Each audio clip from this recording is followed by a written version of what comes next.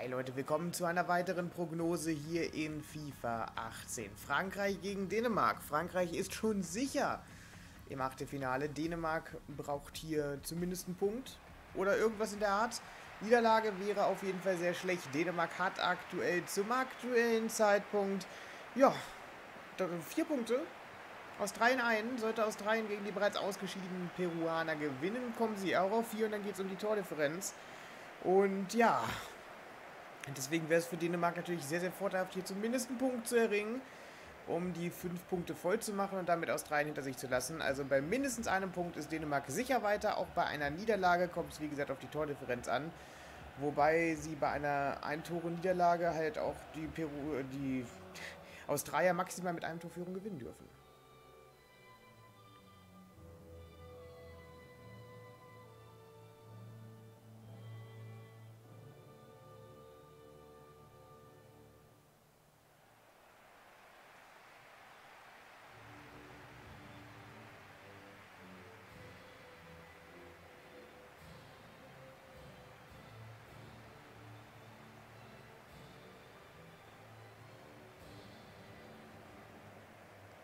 Das hier könnte übrigens die vorletzte Prognose mit dem aktuellen Mikrofon sein. Also ich werde das Parallelspiel Australien gegen Peru vermutlich auch noch mit diesem hier aufnehmen. Dadurch, dass es aber immer wieder so viele Aussätze hatte, gerade in letzter Zeit. Ich glaube, ich habe in den letzten drei Videos, die ich aufgenommen habe, jeweils ein Video- und Soundaussetzer gehabt. Und allein gegen Spanien ja zwei in der letzten Spanien-Prognose. Das ging mir ein bisschen sehr auf die Nerven, vor allem weil ich es halt nicht direkt mitbekomme. Es nimmt halt einfach nicht mehr auf und es bringt dann irgendwie auch meinen kompletten Computer zum Abspacken. Also wenn ich das Mikrofon eingesteckt habe, während mein Render-Programm läuft und es dann anfängt, sich plötzlich, ja, rumzuspacken, dann merke ich das ja noch weniger, weil ich es ja gar nicht nutze aktuell. Und dann fängt mein kompletter PC an zu ruckeln und was weiß ich. Also irgendwas stimmt mit dem Ding überhaupt nicht. Ich nutze es jetzt ja auch seit drei Jahren und bin damit eigentlich sehr zufrieden und habe deswegen heute ganz, ganz kurzfristig, nachdem ich das dann heute, ja, dann doch wieder mal angenervt hat, in der heutigen Aufnahme dann wieder direkt die letzten fünf Minuten, die aufgezeichnet wurden, zum Glück nur die letzten fünf Minuten, habe ich mich dann umentschieden und habe mir dann sofort gesagt, alles klar, ich gebe dem jetzt keine weitere Chance, ich kaufe mir jetzt sofort ein neues und das kommt auch anscheinend morgen schon an. Das heißt, es könnte, die, wie gesagt, die vorletzte Prognose mit dem aktuellen Mikrofon sein. Nur mal als kleine Information, dann sollte dieses Problem mit dem Mikrofon schaltet sich ab hoffentlich nicht mehr auftauchen. Frankreich jetzt hier natürlich, wie gesagt, die können ganz locker aufspielen. Für sie geht es hier maximal um den Gruppensieg.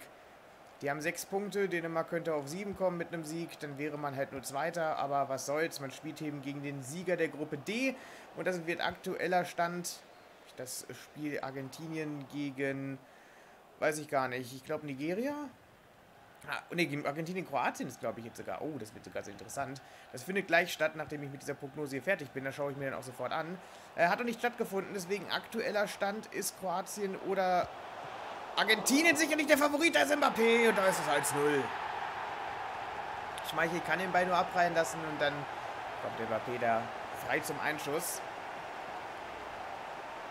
Ja, wie gesagt, vermutlich Favoriten in Gruppe D sind ja definitiv Argentinien und Kroatien. Aber auch Island kann ja noch eine Rolle mitspielen. Vielleicht machen sie es so wie 2016 und schaffen es dann doch wieder relativ weit.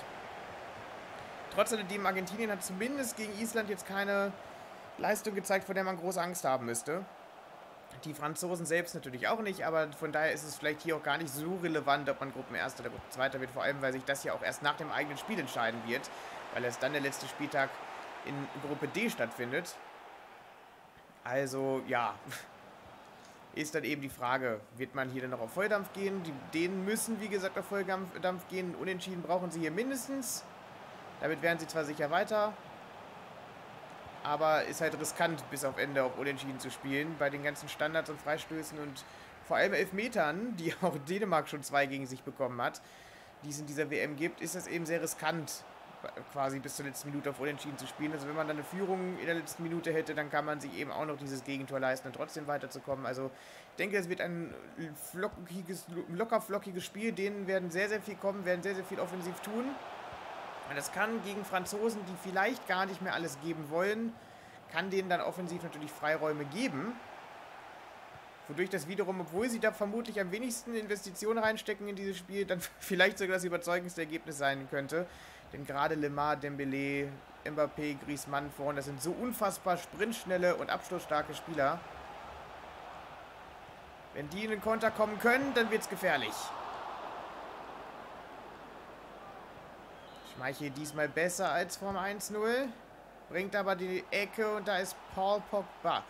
Ich habe ja tatsächlich mit genau dieser Offensive hier einige Erfahrungen gemacht, denn am Anfang von FIFA 18 bestand ja mein Ultimate Team aus Franzosen. Da hatte ich ja einen Matuidi, da hatte ich ja einen äh, Bakayoko, glaube ich, damals auch. Ich glaube, nee, ich hatte sogar in Höchstphasen, wo mein Team am weitesten ausgebaut war, hatte ich ja einen Pogba, hatte ich einen Griezmann, hatte ich einen Lacazette. Auf den Außenbahnen dann einen Mbappé und einen Lemar. Hinten einen Conte und einen Pogba und in der Innenverteidigung einen Koscielny, glaube ich, Varan, CDB und den letzten weiß ich gar nicht mehr, wenn ich auf der anderen, ich glaube Dani oder so, ich weiß gar nicht mehr, wie man den ausspricht, der ist schon so ähnlich. Da ist Griezmann und den muss er eigentlich reinmachen und wenn er dann fällt, dann muss es doch, also gibt, hm, muss man überlegen. Also Griezmann fällt in dem Moment sicherlich nicht ohne Grund. Der steht alleine vom gegnerischen Tor und hat den Ball am Fuß, der muss nur noch schießen. Wenn er da fällt, dann muss da eigentlich auch wirklich was passiert sein. Ist halt die Frage, ob das dann elfmeterwürdig war oder nicht. Also ich bin der Meinung, wenn es nicht elfmeterwürdig ist, dann muss der Spieler auch nicht zwangsläufig fallen. Und in dem Falle fällt er halt nicht ohne Grund. Also in so einer Situation fällst du als Spieler nicht ohne Grund, wenn du wirklich alleine frei vorm Tor stehst und gerade ausholst zum Schießen.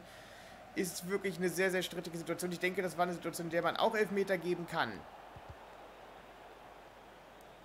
Also auf jeden Fall in dem Fall erstmal Glück gehabt.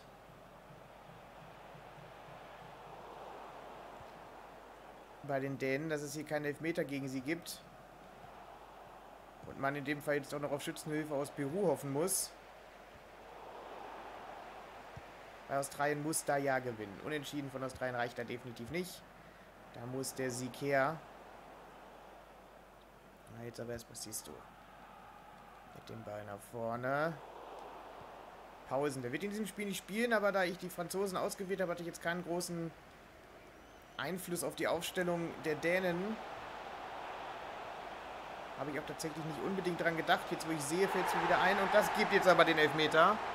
Also diese Pause mit der zweiten gelben Karte, damit der erste Spieler, der tatsächlich für, die, für ein Spiel gesperrt ist, wäre der WM. Jens Strücker Larsen mit der gelben Karte und dem Elfmeter für Griezmann und die Franzosen. Und macht er ihn? Er macht ihn aber sowas von unhaltbar in den Winkel. Dann braucht Schmeichel sich auch gar nicht bewegen. Tut er auch nicht. 2 zu 0 Frankreich. Und damit auf gutem Wege hier durchzumarschieren. Als Gruppenerster mit drei Siegen aus drei Spielen. Die Dänen, wie gesagt, brauchen jetzt Schützenhilfe. Sollte ja, Australien auch nur mit 1-0 gewinnen, wäre Dänemark jetzt trotzdem raus, weil sie jetzt schon eine schlechtere Tordifferenz hätten.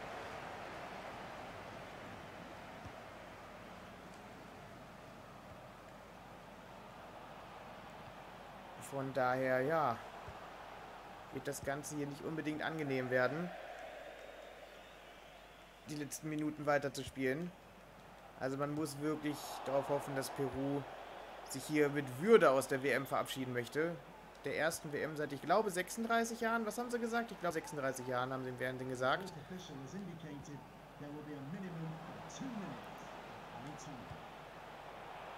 Dann werden die sicherlich nochmal was zeigen wollen im letzten Spiel. Sie hätten hier gegen Dänemark mehr als genug Chancen gehabt, um jetzt nicht schon raus zu sein, sondern nämlich die Dänen bereits rausgeschmissen zu haben. Aber das hat man dort ja ein bisschen vermasselt. Aber wie gesagt, um die geht es jetzt hier gar nicht. Es geht jetzt hier eher um die Dänen selbst, die eben sehr, sehr glücklich hier überhaupt die Chance haben, die, die beste Ausgangsposition um Platz 2 haben. Und das hätte gegen Peru ganz anders laufen können, wenn nicht sogar müssen. Auch gegen Australien wurde es am Ende doch recht eng. Am Anfang hat man stark gespielt, in der zweiten Hälfte hat man aber fast nur noch Australien gespielt. Da hat man schon fast die Führung über die Zeit gerettet gegen Ende. Jetzt Quist. Da ist der Paulsen, der nicht spielen wird. Und da ist Lori. Und da scheint eine Vernetzung vorhanden zu sein. Hernandez, kann der weitermachen? Sieht nicht so aus. Der Linksverteidiger von Real Madrid muss raus. Dafür wird Mondi einspringen. Und weiter geht's mit der Ecke für die Dänen. Hoffen wir, dass es für ihn nicht das Turnier ausbedeutet. Den könnten sie im Achtelfinale sicherlich gebrauchen. Harter Fernschuss, aber eigentlich kein Problem für Lurie. Wenn er da keinen Komplettaussetzer hat, sollte er den eigentlich fangen. Mit keinem Komplettaussetzer rede ich von Derea. Dem traut man ja normalerweise auch nicht zu, dass der einen Komplettaussetzer hat. Hat er aber trotzdem einen. Gegen Portugal. Pogba. Und auf der Linie gerettet. Und dann das Handspiel von Giroud im gegnerischen Strafraum. Der Schiedsrichter hat aber Vorteil walten lassen, weshalb die Dänen jetzt zu diesem Vorstoß kommen. Jürgensen. Delaney. Aber Pogba macht das stark. Jetzt wieder nach vorne. Pogba auf Giroud. Giroud kämpft sich da noch durch. Pogba steht oben bereit. Das sieht Giroud. Die Flanke genau auf Schmeichel. Der boxt den Ball aber genau gegen Griezmann, wenn der da unglücklich ist. Es kann sehr, sehr sein, dass... Mein Gott. Es kann sein, dass der Ball sehr, sehr unglücklich von Griezmann da tatsächlich ins eigene Tor gesprungen wäre. Also ins Tor der Dänen. Jetzt die nächste Kopfballchance. Mbappé aus der zweiten Reihe. Dann Giroud. Und Christensen gerade noch so dazwischen. Frankreich drängt hier aufs 3-0, aber weil sie eben auch die Chance dazu haben, Fallrückzieheransatz. Von, ich glaube, es war Mbappé. Aber wieder ein Däne dazwischen. Nächste Ecke. Schmeichel. Und Titi, da ist Lemar. Jetzt spielen sie einmal hinten rum. Und die. Neu reingekommen. Griezmann. Mbappé sieht Pogba da unten. Der sieht Giroud da oben. Der schießt. Und da ist wieder Schmeichel. Und es gibt den nächsten Eckball. Frankreich jetzt hier mit Dauerfeuer. Die haben jetzt richtig Lust am Fußballspielen gefunden. Das, was man von ihnen schon in den anderen Spielen erwartet haben. Giroud an den Pfosten.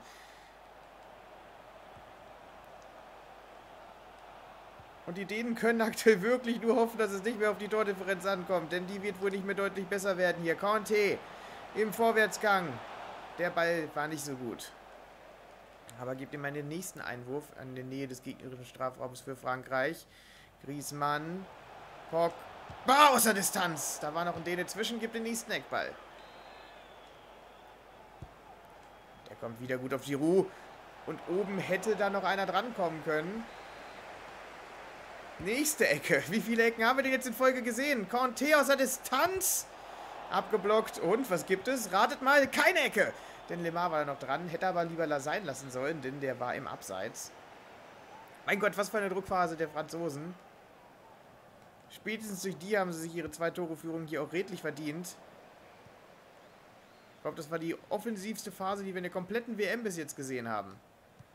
Aber wie gesagt, ich habe es schon befürchtet, dass die Dänen eben offensiver spielen müssen und dass es Räume für die spielstarken Franzosen gibt. Und da ist Antoine Griezmann mit dem 3 zu 0. Gerade erst bei Atletico verlängert und mit einem Mannschaftskameraden, Nationalmannschaftskameraden dort jetzt auch zusammengekommen. Denn Lemar hat den Wechsel von Monaco nach Atletico Madrid vollzogen. Und somit, ja, spielt er dort mit Griezmann jetzt zusammen. Frage ist, wechselt er die Seite? Oder ist das quasi das Aus für Carrasco dort, der eigentlich dort auf der linken Außenseite gesetzt ist? Wer weiß, vielleicht kann Carrasco oder eben auch Lemar eben auch auf der rechten Seite spielen. Ist dann so die Frage, ob man dann da viel rotiert oder ob einer von den beiden, oder was ist einer von den beiden, ob Carrasco dann dafür den Verein verlässt oder einer von den beiden, wie gesagt, auf die rechte Seite rübergeht, wird sich dann zeigen. Vielleicht kann sich Lemar ja auch gar nicht durchsetzen. Aber Binter bringt da zumindest eine, gutes französisches, äh, eine gute französische Combo ein und bringt auch zusätzlich eine gute FIFA-Kombination ein. Griezmann, Lemar ist sicherlich nicht die beste, äh, die schlechteste linke Seite, die man wählen kann. Mit einem Perfect Link da vorne kann man da auch viel machen. Also das freut mich für Ultimate Team definitiv. Könnte eine der ersten Anstrebungen sein, die ich im nächsten FIFA machen werde. Weil die Franzosen haben mich ja auch in diesem FIFA eigentlich überzeugt. Ich hatte ja dann defensiv tatsächlich so ein paar Probleme, weil Varan nicht der stärkste Innenverteidiger war. Zumindest aktuell noch nicht. Vielleicht ist er im nächsten FIFA noch ein bisschen stärker. Und weil die Außenverteidiger eben einige Schwächen hatten. Vielleicht kriegt Hernandez dann noch einen kleinen Schub. Ansonsten habe ich dann halt auf Hybrid umgebaut, dann hatte mich Pogba nicht so wirklich überzeugt und konnte auch nicht unbedingt, Bakayoko schon eher und so weiter und so fort. deswegen bin ich dann ja von diesem französischen Team weggegangen. Aber könnte mich nächstes Jahr definitiv interessieren. So, jetzt aber erstmal ums Spiel Conte. Giroud. Sie bahnen sich den Weg nach vorne. Mbappé. Da fällt Griezmann aber nicht strafstoßwürdig. Pogba, da ist wieder Giroud. Da ist wieder Griezmann. Die letzte Sekunde noch einer dazwischen. Mbappé. Flanke. Griezmann. Kopfballpfosten. Die drängen hier aufs 4-0, die Franzosen. Wie gesagt, Dänemark muss jetzt tatsächlich auf eine Niederlage Australiens hoffen. Das wird wohl nichts mehr hier mit dem Sieg und auch Tordifferenzmäßig. 3-2 wäre man... Ja, ich glaube, man wäre vor Australien, wenn die 1-0 gewinnen würden. Aber ich bin mir gerade nicht ganz sicher. Trotz alledem... Auf das will man sicherlich nicht hoffen, dass sie, wenn sie gewinnen, nur mit 1-0 gewinnen und so weiter und so fort. Also im Idealfall gewinnen sie gar nicht. Das wäre für die Franzosen, äh, für die Dänen noch ganz gut. Wie gesagt, die Ausgangsposition ist für die Dänen sicherlich besser als für Australien. Aber Australien hat, wenn man Frankreich als Gegner, als Maßstab man nimmt, wahrscheinlich den etwas leichteren Gegner. Mbappé Conte! Und da ist Schmeichel noch. Das war, glaube ich, sehr laut gerade. Tut mir leid.